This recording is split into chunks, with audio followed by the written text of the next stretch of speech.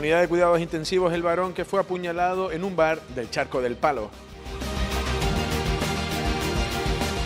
Se reabre la polémica del uso de las patinetas eléctricas tras el grave atropello a un varón en la calle León y Castillo de Arrecife. La unidad de radioterapia de Lanzarote ya está activa y en Navidad operará al 100%. Se estrena el segundo remolcador de los mármoles que permitirá la total operatividad de llegada de embarcaciones al puerto capitalino. deportes finalizan con éxito las pruebas del quemado class de surf y el IQ Foil de vela olímpica.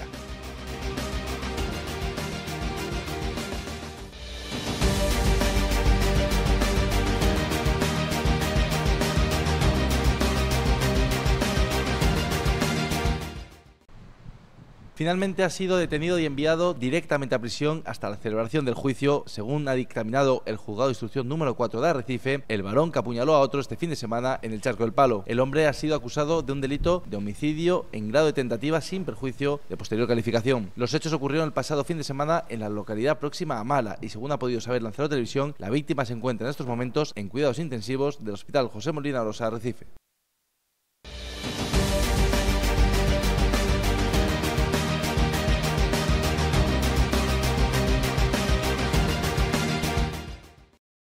Continúa aumentando el número de heridos tras colisionar patinetes eléctricos con vehículos, como es el caso en la, mañana de ayer, cuando un varón de 38 años en esta calle León y Castillo de Arrecife resultaba herido de carácter moderado. Es por ello que hemos preguntado al concejal de movilidad del Ayuntamiento de Arrecife, Marcos González, cuál es el reglamento que se sigue para estos vehículos en la ciudad capitalina. En la ciudad de Arrecife ahora mismo nos estamos rigiendo, como en otras ciudades, tanto por el reglamento de circulación como la ley de seguridad vial. Actualmente no existe una normativa específica para estos vehículos, por lo que hay muchas lagunas y constantes modificaciones a nivel estatal. A pesar de ello, el concejal no descarta que sí exista una a futuro. A futuro, si es posible que se haga un estudio de una ordenanza específica circulatoria para este tipo de vehículos de movilidad personal, VMP que le llamamos, pero actualmente está habiendo también muchas modificaciones a nivel estatal.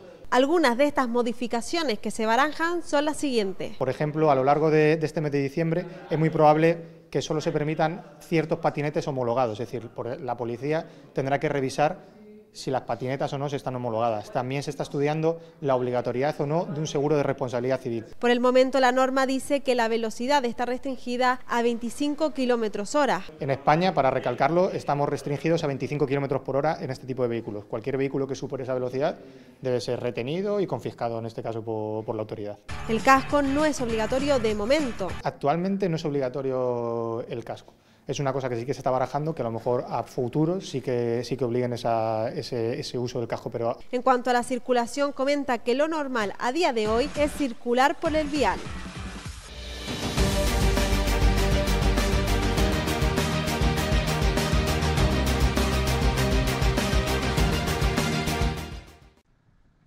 La subida de las entradas a los centros turísticos de Lanzarote que lleva la dirección de los CAC, Ángel Vázquez tendrá que esperar hasta que haya un informe técnico que lo avale y se estudie mejor las condiciones positivas y negativas que pueden traer en el mercado, sobre todo en el de las agencias de viaje. Hay un consenso casi general de la necesidad de que las entradas a estos centros deben sufrir un ligero aumento, no solo para poner al día las cuentas por el aumento de los costes de explotación y la inflación, sino porque es un mecanismo, creen algunos analistas, de seleccionar y mejorar la calidad de vida de la visita. En cualquier caso, el propio Ángel Vázquez, ante las reticencias de algunos miembros del Consejo de Administración, pospuso la decisión hasta el 22 de diciembre, cuando se llevará el asunto de la subida de las entradas en los CAT. Todo apunta a que se alcance un consenso tras conocerse el estudio económico que se ha encargado a los CAT que avalen una subida gradual, ya que podrían aplicarse a partir del 1 de enero del año 2024. El representante del PSOE, Benjamín Perdomo, ha enviado un comunicado donde fue muy crítico con la dirección de los CAT por llevar este asunto sin informe técnico previo de la conveniencia o no de la subida. Es vergonzoso y triste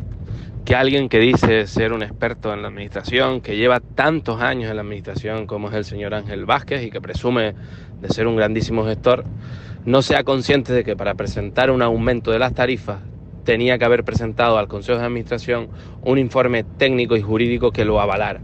Así, al no hacerlo, pues ha tenido que dejar por tercera vez sobre la mesa la subida de tarifas. Yo ya, ya no es entrar a hablar si es conveniente, si no es conveniente una subida de tarifas, lo que es evidente es la incompetencia de, este consejero que tenemos al frente de los centros turísticos. Algunos han querido ver en esta dura contestación del anterior consejero delegado de los centros turísticos, Benjamín Perdomo, una fórmula de cobrarse la factura que le dejó Ángel Vázquez, quien reveló hace semanas que los supuestos beneficios de los centros turísticos eran un invento de Benjamín y que lo que habían eran pérdidas.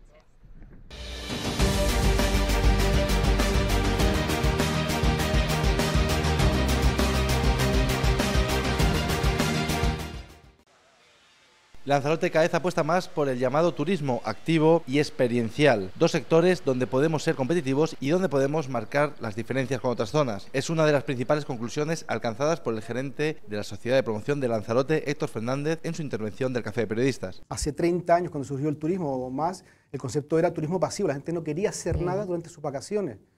Es el recuerdo que tenemos de la Costa del Sol y demás, pero eso ha cambiado diametralmente. Ahora los destinos tienen que desarrollar eventos, actividades para convencer al turista activo que viene ávido de desarrollar actividades, experiencias o de acudir a eventos. Y los eventos lo que consiguen es poner en valor una disciplina en la que el destino esté destacando. O sea, cuando vemos el Festival Sobreda, no es únicamente una fiesta, que también es también una puesta en escena de un trabajo que se está desarrollando en la última década que creo que con gran acierto. Valoró positivamente Saborea Lanzarote dentro del turismo de experiencias. Que sí somos competitivos, es decir, cuando hablamos de, cocina volcánica, automáticamente deducimos que tenemos mucho que aportar. ¿no? Yo creo que tenemos que en estos momentos decidir en qué línea somos realmente competitivos, marcamos diferenciación y apostar por ello. No se puede ser bueno en todo y yo creo que la cocina volcánica es un concepto que surgió hace algunos años a través de una propuesta externa y ha ayudado a cualificar el proyecto Saborea Lanzarote. Al fin y al cabo tenemos que buscar en todo lo que es el ámbito mundial, ¿no? Eh, en aquellos destinos que tengamos algo en común y que se celebren Lanzarote esos foros de reflexión ayudan a cualificar el destino. Destacó también la oferta deportiva con pruebas de alto nivel organizativo gracias a la iniciativa privada con el apoyo del Cabildo. Al gran eh, esfuerzo que ha habido colectivo hacia el turismo deportivo. Cada fin de semana tenemos, ahora eh, de aquí voy al quemado, que es un tubo maravilloso, hay un espectáculo en la Santa increíble. También en Marina Rubicón se están sucediendo los Iki eh, Goings. Y así que la maratón fue hace dos fines de semana que había que ver el porcentaje de participación internacional que había. No somos conscientes del potencial que tenemos con los eventos, pero eso es una, una capacidad que hemos sabido desarrollar. No únicamente la parte pública que apoya, pues también la parte pública, el Ironman es coorganizado por el Cabildo y muchos ayuntamientos y también promotores privados. En relación a la calidad del turismo, señaló que se encuentra con la cualificación del destino. En la movilidad, o sea, Lanzarote maneja unos ratios de, tráfico rodado y, habitantes mm, de los más altos de Europa, entonces tenemos que entender que, tenemos que facilitar esa movilidad para ser, para ser corresponsable a lo que está ocurriendo en el planeta y para también dar una imagen de comodidad, de frescura, de movimiento verde, que al fin y al cabo es lo que busca el demandante. Y luego hablar también de todos los grandes desafíos de, economía circular, de, gestión de residuos, de todo lo de kilómetro cero, que está relacionado con lo que hablamos inicialmente con la gastronomía, que aquí se está abordando creo que de forma exitosa, y hay una gran incorporación de nuevas generaciones incluso al sector primario, eso es un acierto y un fruto del proyecto Saborea Lanzarote, que forma muy, mucho, tiene mucho que ver con la estrategia del destino, que es potenciar el paisaje. Eso sí, todavía quedan muchos retos por mejorar, como la movilidad y la llamada economía azul.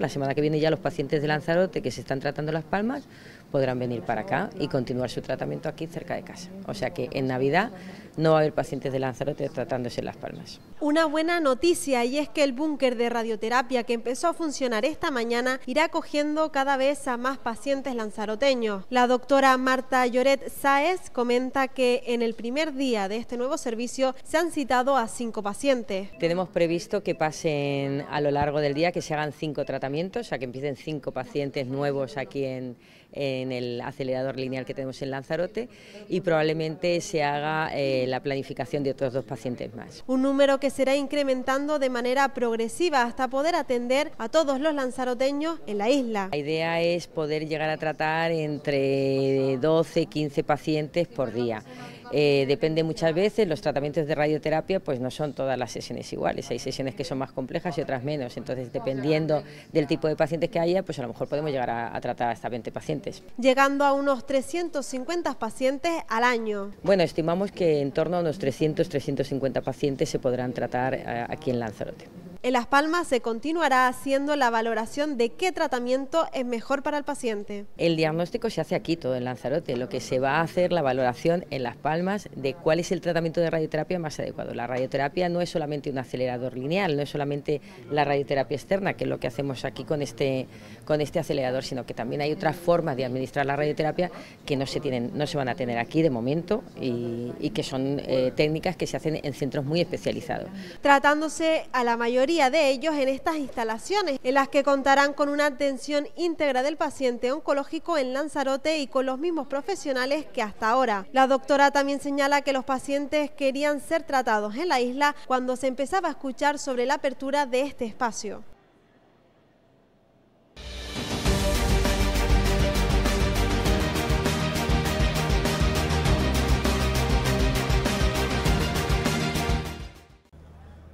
Este que ven es el nuevo remolcador suministrado por la Autoridad Portuaria de Las Palmas al puerto de los Mármoles, que suma así su segunda embarcación de estas características y que significa un gran avance para los intereses económicos del puerto y de la isla en general. Va a suponer que no se va a quedar ningún barco sin entrar al puerto de Arrecife.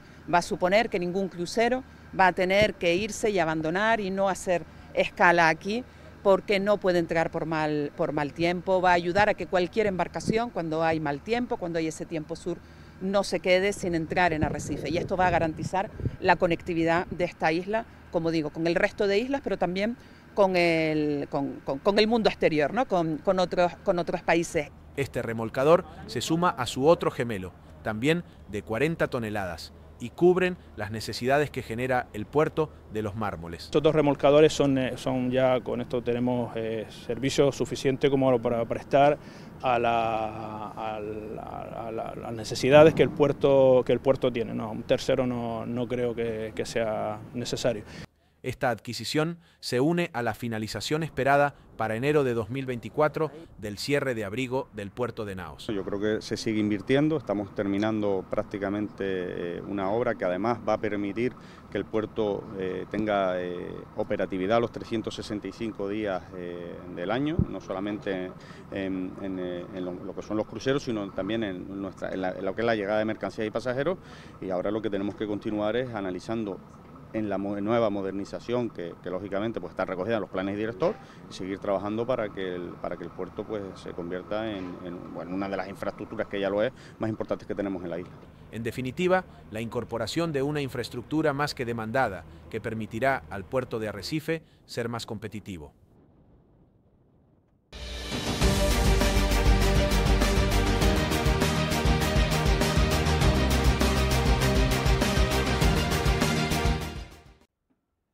Se avecinan jornadas calimosas en Lanzarote que desde la tarde del martes se ha visto envuelta en una especie de neblina típica cuando se produce este fenómeno y que durará hasta el jueves con una intensidad notable. Por ese motivo, el gobierno de Canarias ha decretado la situación de prealerta. La calidad del aire podría empeorar cuatro o cinco veces en comparación con los registros normales. Habitualmente, el índice que registra las partículas dispersas en la atmósfera recoge valores en Lanzarote no superiores a 50. Estos días, sin embargo, se podrían llegar a cifras por encima de los 200 microgramos por metro cúbico. Por ese motivo, hay que tener especial cuidado con la salud porque puede provocar irritación en los ojos, inflamación en las vías respiratorias e incluso para las personas que padezcan cualquier tipo de patología pulmonar podría ser muy peligroso. Por eso se recomienda durante estas jornadas calimosas no practicar deporte ni realizar actividades al aire libre, hidratarse bien y mantener ventanas y puertas cerradas dentro de lo que sea posible para evitar que esta arena en suspensión entre en los hogares. La parte positiva de estos episodios habituales en Lanzarote es que se enmarcan dentro de la calima clase A, que tiene su origen en causas naturales y que es mucho menos perjudicial que la calima tipo B, que es la que se produce en las grandes ciudades fruto de la contaminación.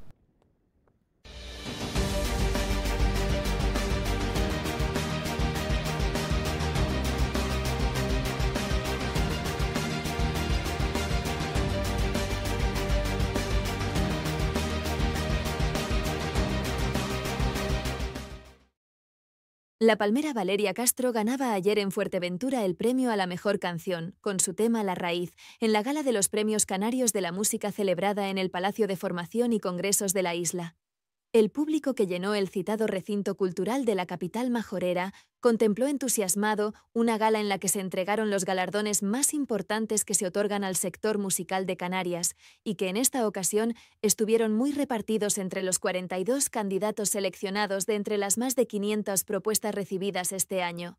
En la gala se premiaba, entre otros, a Quevedo como artista revelación o a Braulio como premio a su trayectoria artística, denominado Premio de Honor.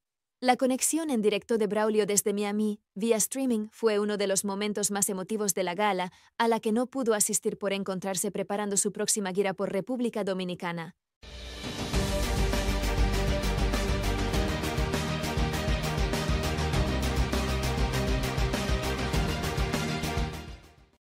El certamen artístico juvenil Maxo Arte Joven 2023, organizado por la Consejería de Educación y Juventud del Cabildo de Fuerteventura, que dirige a Dargoma Hernández, ya cuenta con los ganadores de sus 17 modalidades artísticas.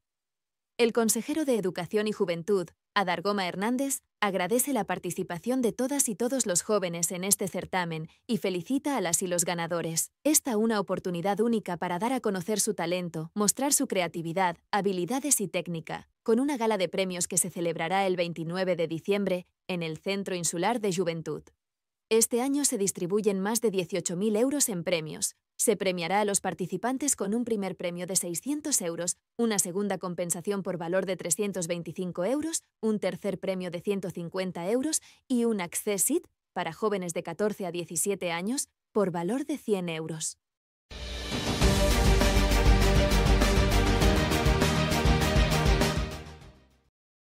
Hoy la calle opina sobre la prohibición de fumar en las terrazas. Me parece bien que prohíban, porque a todo el mundo no le gusta el olor del cigarro y, me parece bien que prohíban fumar en los centros comerciales y, terrazas, etcétera, porque todo el mundo quiere disfrutar de beberse un café o una cerveza al aire libre y, y el humo molesta, ¿no? Hombre, atado con un antitabaco, así es que mi opinión está clara. Yo por mí eliminaría el tabaco de todas, las de, todas aquellas zonas donde eh, se comparta espacio con otras personas, porque aunque estés al aire libre, el humo estás comiendo en la mesa de al lado y te va. Entonces, pero porque ha estado con una persona antitabaco, que sé el daño que hace. Por eso no estoy de acuerdo. Pues como fumador que soy, tengo que reconocer que lo entiendo, porque en verdad es molesto para el resto de personas que están alrededor y entiendo que es una medida que intenta disuadirnos de fumar. Otra cosa es que lo consiga. Bueno, yo no fumo, pero bueno, si está en la terraza y está en abierta, pues aunque hay mucha gente que le molesta, pero yo pienso que yo qué sé, que cada uno va a lo suyo. Si, si sabe que hay ventilación, pues a mí no me pasaría mal. Como fumador te digo que el aumento del precio del tabaco lo único que persigue es la recaudación de impuestos.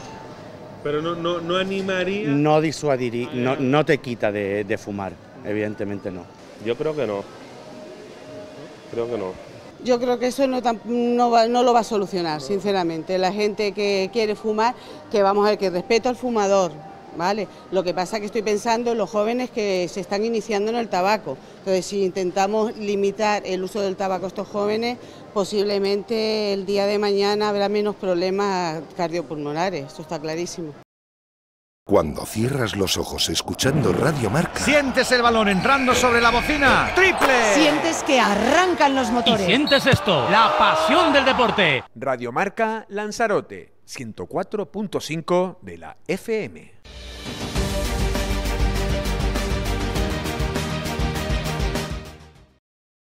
Y como vienen muchos factores al nivel de competición, hay mucha gente que puede ser desconocida, pero que conocen muy bien la ola. Entonces, obviamente, pues voy quizás como uno de los favoritos, que ya he ganado varias veces la, la prueba, pero siempre puede haber sorpresa. Pues al final no hubo sorpresas.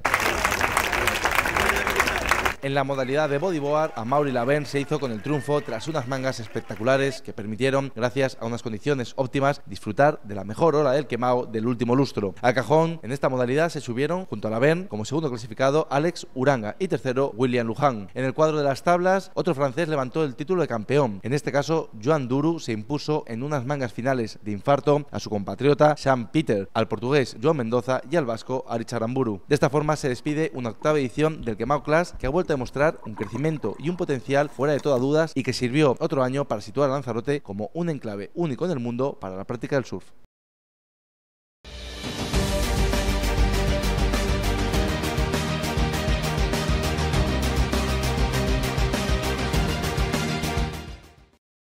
Volvió a cumplir el campo de regatas lanzaroteño con la flota del Windsor Olímpico. Ayer martes la segunda jornada de los Lanzarote IQ Fall Games se resolvió con ola grande y viento de unos 10 nudos de intensidad que permitieron al comité de regatas completar 5 nuevas pruebas. Si bien la jornada del lunes se cerró con un triple empate en la cabeza, la segunda jornada provocó un vuelco en la general con nuevos windsurfistas ocupando los tres cajones del podium provisional. Con dos primeros, un cuarto, un segundo y un decimoséptimo que pasa a convertirse en descarte, el holandés Luke Van Openzal, actual campeón del mundo de la clase, es el nuevo líder de la general con un total de 14 puntos y 8 de ventaja sobre el segundo clasificado, el español Nacho Baltasar. Por detrás, el tercer puesto pasa a ocuparlo también el holandés Josh Bing, con un décimo, un segundo, un quinto, un séptimo y un tercer puesto anotado. En cuanto a la flota femenina, se sumó ayer martes cuatro pruebas más en las que Sharon Cantor volvió a demostrar su gran potencial en el campo de regatas. La española Pilar La Madrid, por su parte, sumó los parciales de 11, 13, 2 y 4 que la sitúan provisionalmente en la sexta posición de la general. Hoy miércoles, los Lanzarote IQ Fall Games vuelven a convocar a la flota para la tercera de las cinco jornadas que durará este campeonato. Será además el primer asalto a las series finales. Cuando cierras los ojos escuchando Radio Marca. Sientes el balón entrando sobre la bocina. ¡Triple! Sientes que arrancan los motores. Y sientes esto, la pasión del deporte. Radio Marca Lanzarote, 104.5 de la FM.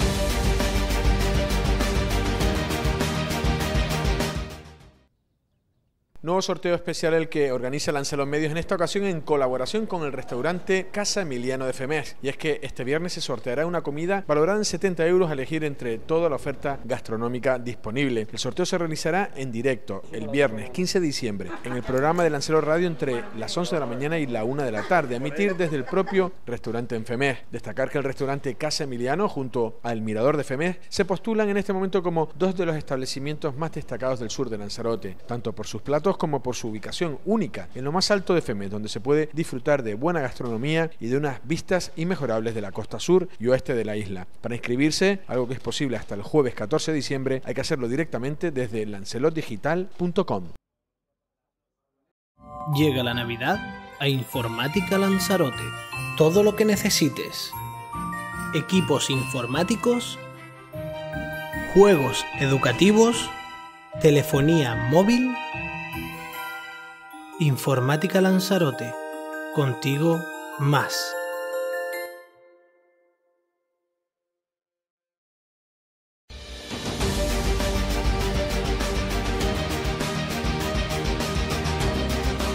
Para el jueves 14 de diciembre, cielos despejados con algún intervalo nuboso. Las temperaturas ascenderán hasta máximas de 25 y mínimas de 17. El viento soplará del nordeste medio, con ráfagas máximas de 30 km por hora. En el mar componente nordeste, fuerza 1-2, marejadilla marejada. La playa será a las 1.58 y a las 14.24 y la baja mar a las 8.11 y a las 20.22.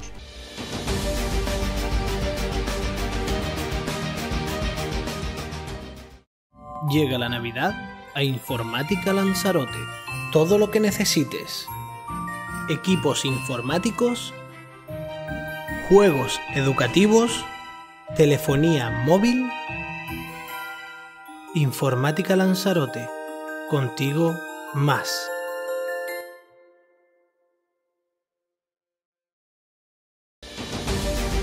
En la unidad de cuidados intensivos, el varón que fue apuñalado en un bar del Charco del Palo.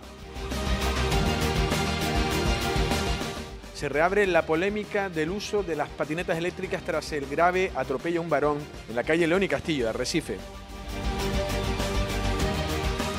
La unidad de radioterapia de Lanzarote ya está activa y en Navidad operará al 100%. se estrena el segundo remolcador de los mármoles que permitirá la total operatividad de llegada de embarcaciones al puerto capitalino.